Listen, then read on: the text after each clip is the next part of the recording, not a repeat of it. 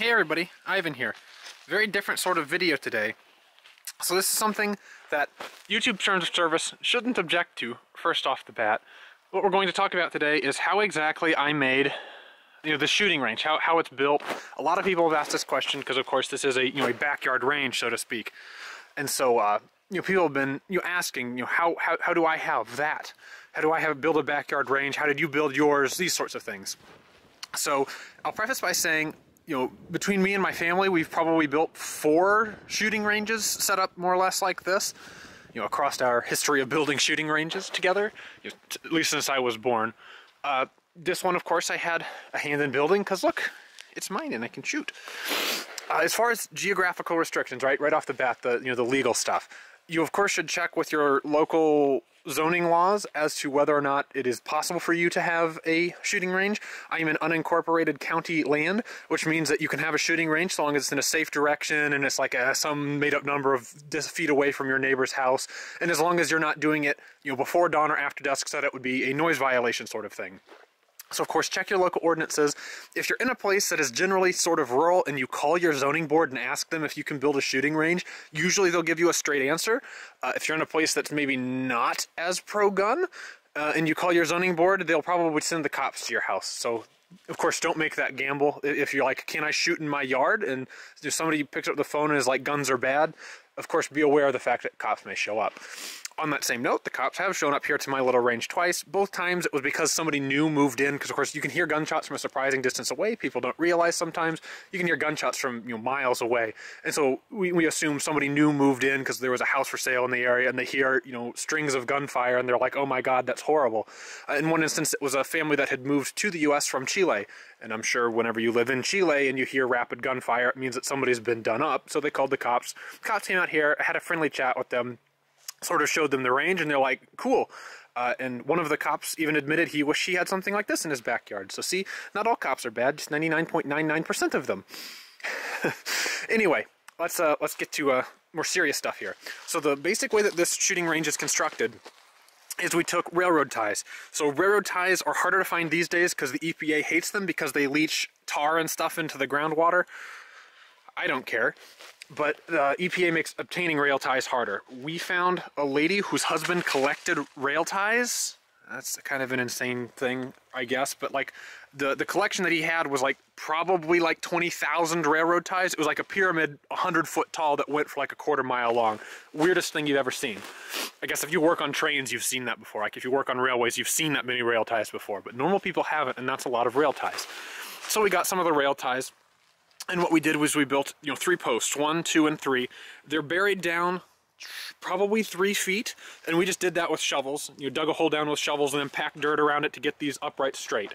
So then at that point, we set these ties up on top of them, and we used these little gusset plates. This is just, you know, bullshit steel stock that we drilled holes in to stick lag bolts through, just to sort of give it some amount of rigidity. And so that made our uprights. From that point, we then started piling in dirt. Some of this dirt mound was built here before. If you live in a place where the sort of geographical situation allows you to build this up against the side of a hill, then you don't have to do any earth moving, right? Of course, there is a ridge line back there that's like at least 100 foot tall that would sort of make this whole backstop unnecessary anyway, but redundancy is key, right? You want to see where your bullets are going, and we've had trespassers come out from right here on the berm before, as insane as that sounds. While I was here shooting, you know, little kid's head pokes up right here, and I'm like, uh, do you know you're trespassing? And that sort of thing, and they're like, oh, they didn't hear me shooting. I think that's a lie, because like, oh man, that was a terrifying, terrifying instance in my life. But that's why you would want something like this. While, while we could just yeet rounds into the woods, it's nice to have this because it saves idiot children's lives. And saving idiot children's lives is good. So, you know, this is what this dirt mound is built up here for. Uh, this was sort of like lime aggregate, and there's a bumper from a Dodge that washed down the creek one day. so we put it up here because it's funny, but it's been blown down by the wind. But we had you know, you know built up this dirt. It's a mixture of rock and aggregate and stuff. You know, it's, it's, rock and aggregate from some concrete that got busted up. That's a good thing to throw in with your dirt to help prevent erosion, but as well as it's just dirt. Of course, if you've got land, dirt is free. it's everywhere. I have 458 dirts.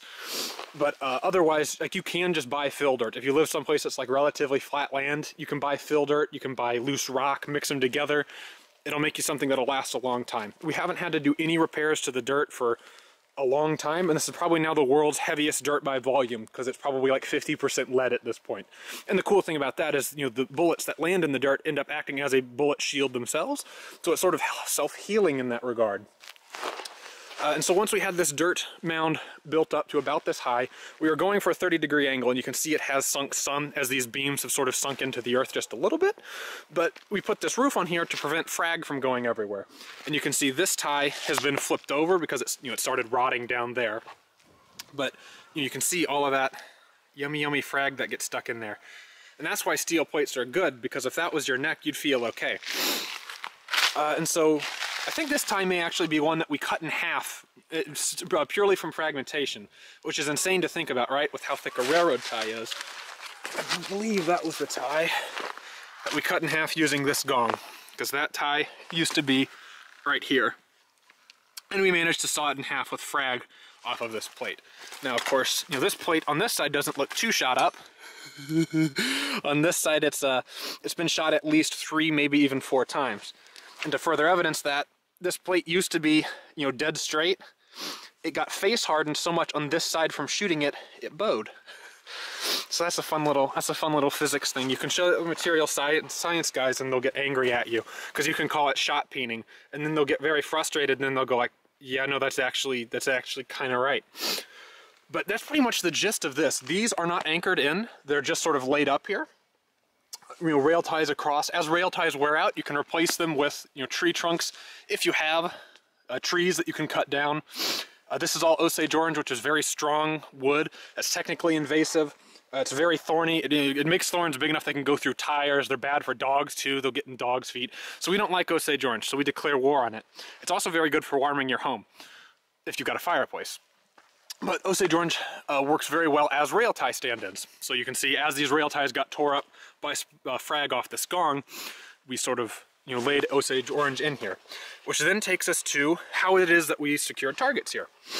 So that's actually pretty simple. This is this is into Osage here on this one, but the other ones can just go into rail ties. These are just lag bolts with an impact, little battery impact gun. You stick lag bolts in there with chain, and then you put hooks on the chain, and then you weld the hooks to steel plates. Oh geez, I don't even remember where these steel plates came from. I think it may have also been some, you know, so that, that guy who collected rail ties, that these were sort of the plates that like switches and stuff for trains go on. But, uh, you know, of course we have a fair amount of steel here. Uh, steel can be expensive, but you you should look for stuff that's you know scrap steel. So if you know a guy in town who's like a scrapper or go to a junkyard, you can find plate steel from instances like it was on a railroad situation and then they scrapped it. You can find steel cheaper than if you go to like AR500 and buy you know, they're, you know, they're extremely marked up, certified super good steel.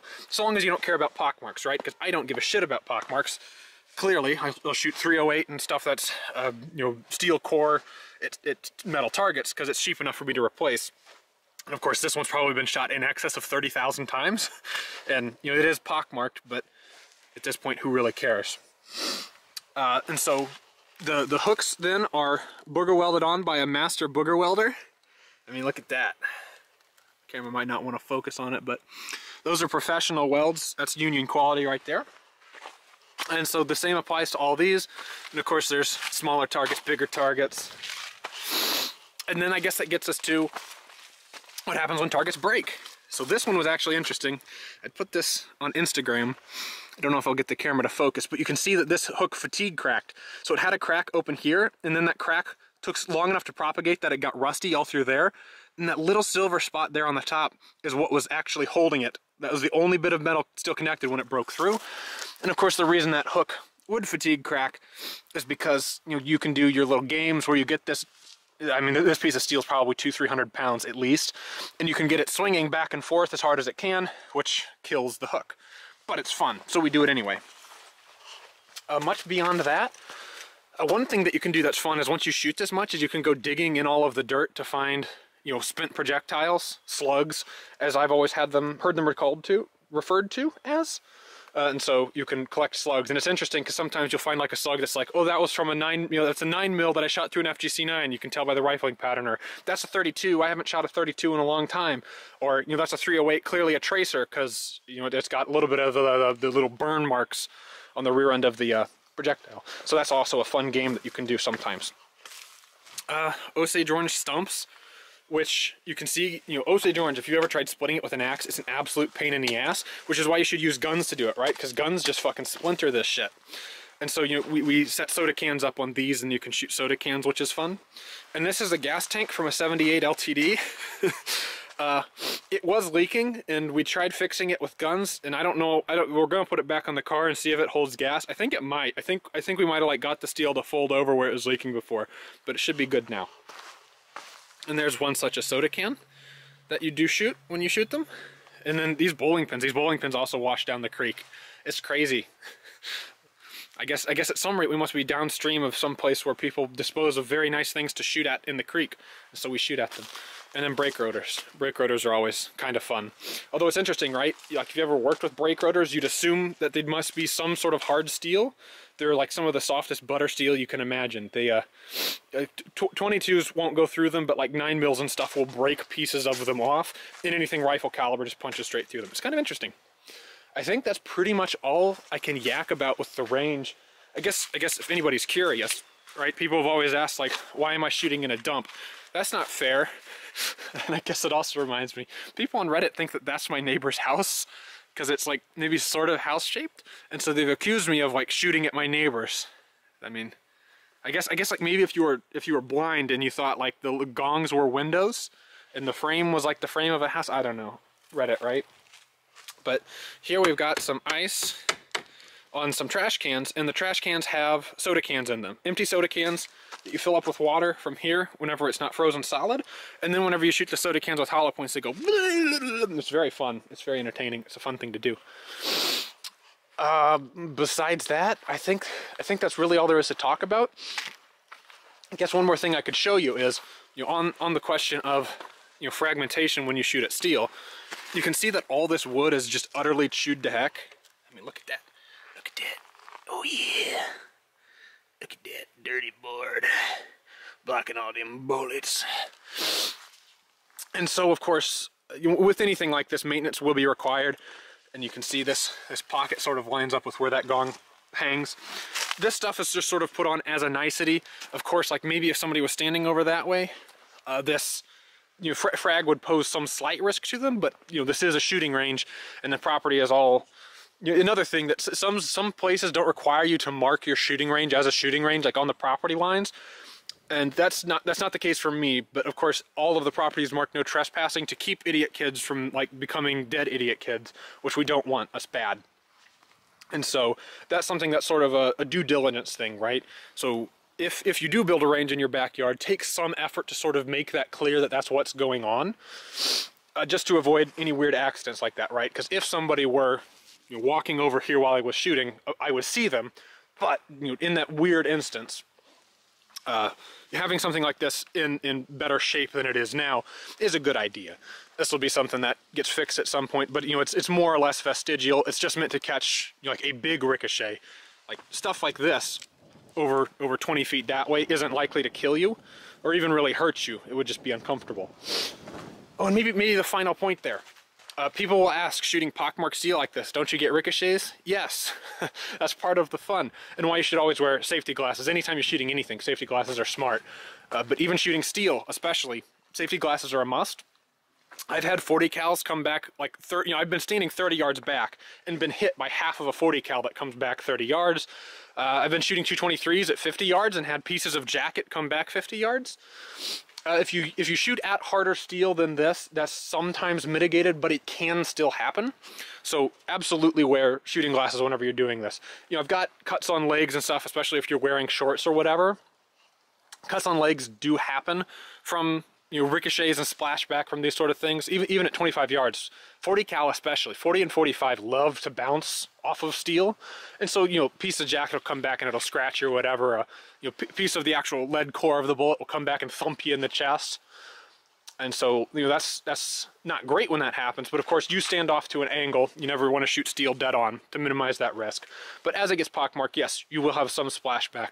Is it going to kill you? No. Really the only danger it poses is if you aren't wearing safety glasses. So, wear safety glasses. See, I'm teaching you all how to be very safe. This video's gone on very long at this point. Uh, I guess if you guys have questions, you can ask them in the questions section that's that way. You put your and, and, and, and then go with your question just like that. And then once you've asked your question, you can do a like and comment thumbs up. And besides that, I don't know that there's anything for you. If there's one thing I love more than anything I love, it's it's American guns and German beer.